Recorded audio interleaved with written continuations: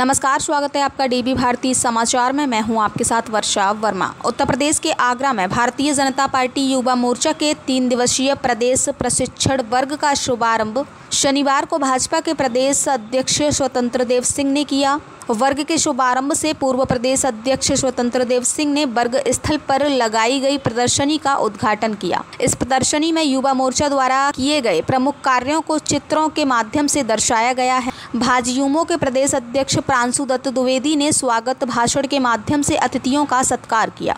स्वतंत्र देव सिंह ने युवा मोर्चा के कार्यकर्ताओं को संबोधित करते हुए कहा कि युवा शक्ति को जय श्री प्राप्त है। जनसंघ से लेकर अभी तक कार्यकर्ताओं को प्रशिक्षण प्राप्त होता रहा है। प्रशिक्षण के माध्यम से ऊर्जावान कार्यकर्ता तैयार रहते हैं। ये भाजपा की अनूठी कार्यशैली का ही प्रतिफल है। कि पूरे देश में आज भाजपा की गूंज है। ये भाजपा में ही संभव है कि आज यहाँ सामने बैठे कार्यकर्ताओं में से कोई कल का राष्ट्रीय अध्यक्ष हो सकता है। विश्व का सबसे बड़ा राजनीतिक दल भाजपा है।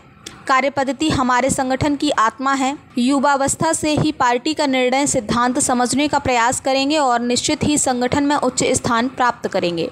भाजपा की आत्मा नेता में नहीं, कार्यकर्ता में वास करती है।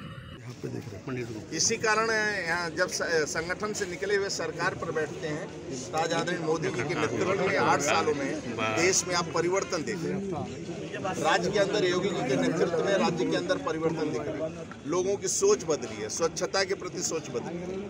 आज गरीबों का कल्याण हो रहा है। सभी योजनाएँ गाँव गरीब किसान को मिल रहा है। प्रधानमंत्री आवास से लेकर शौचालय, वैश्विक महामारी में भी फ्री में अन्न देने का किसी ने काम किया है तो मोदी योगी सरकार ने किया है और अस्सी करोड़ देश के अंदर पंद्रह करोड़ राज्य के अंदर राज्य के अंदर महीने में दो बार दिया तो एक भी एक भी भूख से कोई नहीं मरा। राजनीति हम लोग करते हैं राजनीति मेरा व्यापार नहीं है राजनीति मेरा मिशन है। हम सत्ता भी बनाने के लिए काम करते हैं तो जनता की सेवा करने के लिए गरीबों की सेवा के लिए और गरीबों के कल्याण के लिए।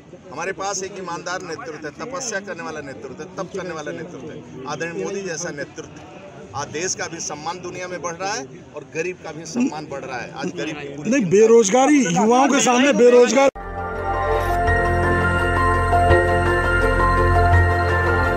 देखते रहिए डीबी भारती समाचार। नज़र हर खबर पर।